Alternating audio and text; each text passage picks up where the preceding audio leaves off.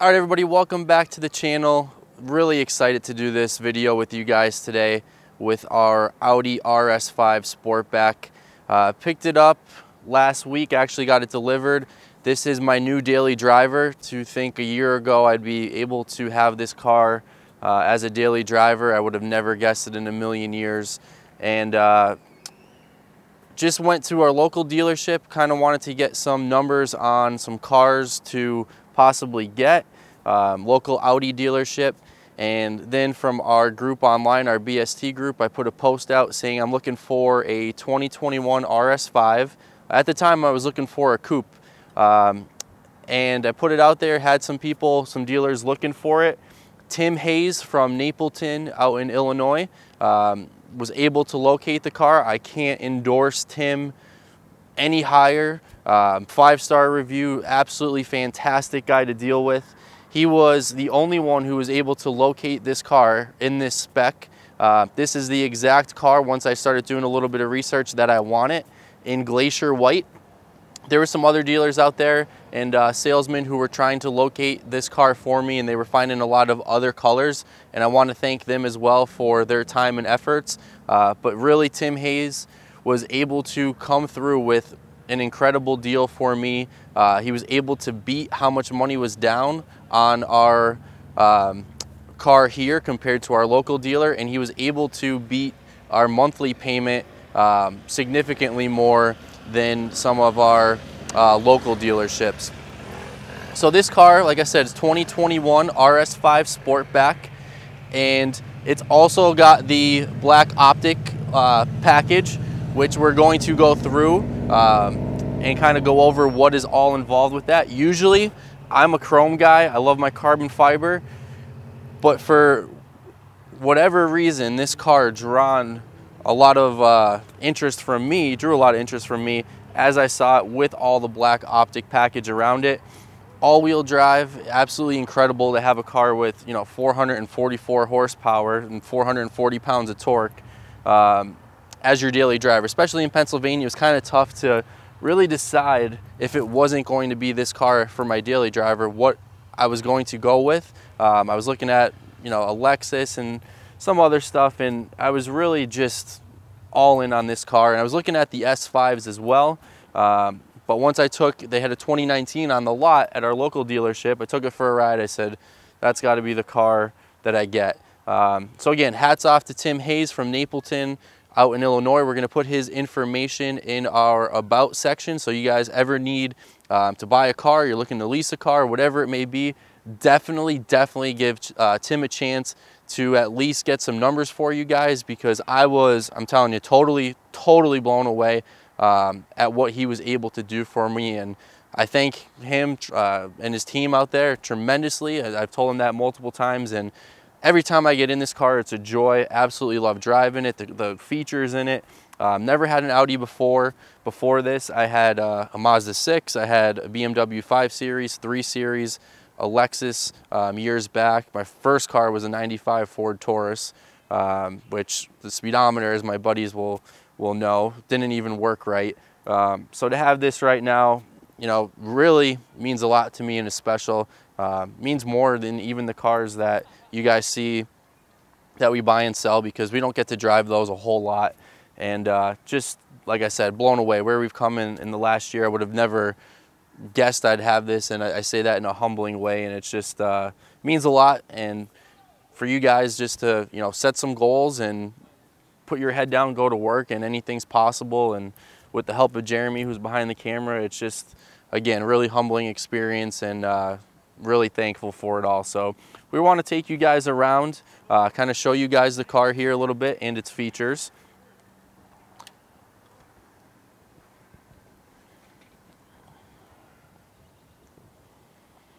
I think we'll start off first with the Black Optic Launch Edition. That's a $12,000 option and it is going to include your 20 inch five segment spoke design wheels that are in high gloss there was also a, uh, I think it was like a five star flag wheel and those were silver. And that was the route I thought I was gonna go on this car at first. Um, they, those wheels just kind of looked really nice to me and, and with the RS model. Uh, but when Tim was able to send me this car and I saw it, the pictures even, I have to say, the pictures didn't do this car a lot of justice. It looks a lot better in person than it does in pictures. Uh, big fan of chrome wheels, like I said. But even our ZR1s, the black wheels, I think, you know, a lot of these cars are moving to the black wheels. In this particular car, in this spec, those wheels, the black wheels, definitely help set this car off very nicely. You got 275 by 30 summer tires, both in the front and the rear. So again, 20s all the way around, and the width of those tires remain the same on all four corners as well. So many sensors on this car. You kind of see them here as Jeremy goes by. All the different camera angles. We'll get you up to the front too, and you can check out that front grille that's all blacked out.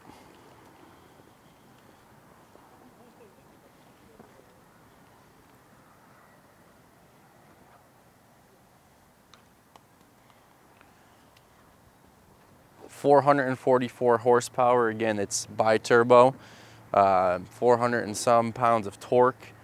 And it's crazy because it's got a, a split personality. You can use it as just a regular average car. And then when you want to get on it, there's a lot of juice and power there for you to uh, accelerate. And the brakes on this thing were probably the, the first part of the car when I was driving it that I noticed.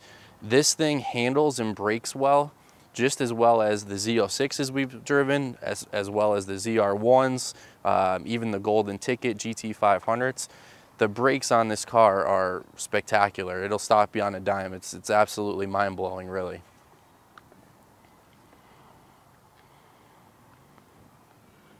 You have the high gloss black exterior trim and mirror housings.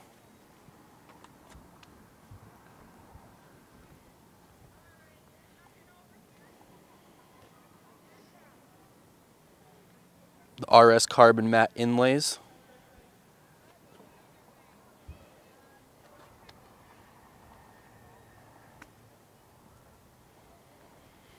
The exhaust as well is an RS Sport exhaust system. And it's pretty cool because it's, again, similar to a lot of the stuff we have in the sense that this car has got three different modes. You have an auto mode, and then you have an RS1 or RS2, where the exhaust starts to get a little bit louder. It opens it up a little bit. Uh, reminds me of the ZR1s and also the GT350s that we've had where you can kind of toggle the switch to get a little bit more rumble. Same thing um, in this here. So it's really cool because like I said, I've never had a daily driver that was able to do um, anywhere near you know what this car is capable of. I'm to show you guys the interior. You got the RS interior design package at first, like I said, uh, I wanted to get red interior, but that's only offered on the S5. I did not know that the RS5s had standard interior like this, um, no matter what color you got. And it really is, it's so nice. I mean, everybody knows that Audi's interior is one of the best, if not the best. And to me, a big feature that I wanted was the Alcantara steering wheel. It's got such a nice grip and feel to it very, uh, again, similar to our ZR1, my Matrix Gray has the same steering wheel, same shifter. The shifter here is Alcantara. Got the beautiful red stitching on the steering wheel, on the seats. You see the carbon fiber as well, and that's, that's a flat finish. It's not a glossy finish, which is different, but I really, really like that uh, because you see so many of them that are glossy. You have the Alcantara on the steering wheel as well. Or I'm sorry, on the uh, doors here.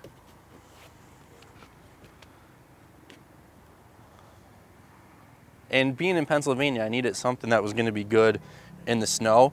And the Quattro system, from what I've read and what I've seen from some of my friends and what they've said, um, and some research, you know, it's a fantastic car in the snow. And uh, anybody that lives in the Northeast knows that we've been getting enough snow up here lately.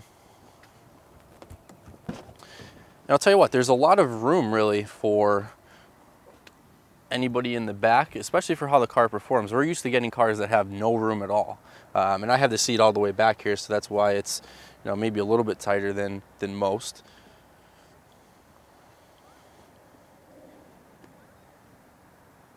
Got my snacks in the back, little pretzels. The pat, or not the passenger, I'm sorry, the driver's seat. If you guys see here, is for a massage, a massage, and there's three different features um, that come up of different patterns and ways that you can get a massage from the seat with different intensities. Uh, comes right up on the um, screen. So here's here's your home screen, and you can see how on the left it's got your G meter for your G force, got your tach right in the center, speedometer right below it, um, what gear you're in. Also tells you how much power or torque you're using when you are driving. Um, some features here, like I said, you can do, the, do your phone, your volume, but this RS mode, if you click on that, you'll see right below where it says P, it's now RS1. Opens up the exhaust a little bit, and then you can do RS2, which is the loudest, and it opens up a little bit more. I don't know if you guys can hear that from uh, the video, but it's definitely noticeable when you're in the car. You have your different drive selects. You can choose um, comfort, you can choose auto or dynamic. Dynamic is your most um, sporty and what everybody seems to enjoy the most, especially with the paddle shifts. And then you have your RS mode 1 and 2 here, and you can kind of click on that, and you can adjust those as you want. RS mode 2. I mean, there's just so much with this car. Like, it honestly was very overwhelming for me uh, when I first got in it and tried to learn exactly what was going on. Uh, so even with the vehicle, if you click on that, your different drive selects as we showed, you also have your RS monitor, which is really neat. Uh, this reminded me a lot of the Hellcat Charger, Hellcat Challengers, where you can go in and kind of see uh, everything that's kind of going on with the car. There's your G meter as well, and then your tire pressure comes up. And then there's other stuff too. Uh, one of the ones people like is the light and visibility. You have interior lighting where you can choose, it shows you here the different colors. I have it set up as red, but if you go through it, got like a little blue color, kind of a little teal, and you can kind of mess with how bright it is you want it. So really neat at night to uh, kind of mess around with that and brings out a little bit more color in the uh, interior lighting. And then there's just so much. You got driver's assistance, all the different things that you can uh, kind of do. And I was driving it today actually, and I went to turn to make a left, and the car didn't think that I'd be able to make the turn um, in time, and the car automatically braked for me, um, kind of threw me off. So there, like I said, there's just so much tech that's in the car that you know it's crazy. Um, even here, I mean, it's probably common on a lot of the newer cars now, but you can charge your cell phone right in there. And it's just, you know, little things that it's, you know, for a car nowadays to have some of this stuff, it's, it's crazy. But you're in here, it's very, very visible. That's uh, another thing that I noticed right off the bat. Like, there's really not any blind spots. You have a nice wide windshield, even the sides here uh, passenger side and driver side, you can kind of see out the windows really well, um, more so than a lot of other cars I've been in and driven before. Great stereo system, um, HD radio, clarity's you know fantastic, and I have to say like there's really no complaints that I have um, so far with the car. Um, heated seats, we used those the other night, and they heat it right up fast. Didn't have to wait long at all.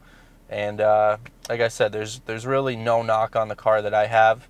You know, maybe when the snow comes, we'll see how it is at that time because it's going to be a daily driver up here in Pennsylvania. That was that was the thing. I needed something that I can use all 12 months of the year. Uh, the sport seats, awesome, incredibly comfortable, kind of contour to your back. Love the red stitching.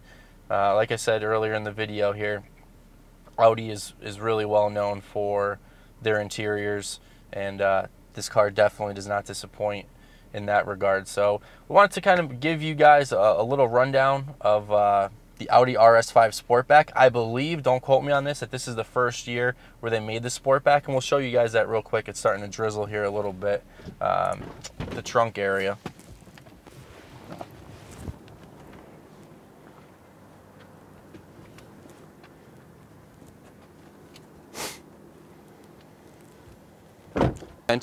and he will definitely take care of you on your next vehicle.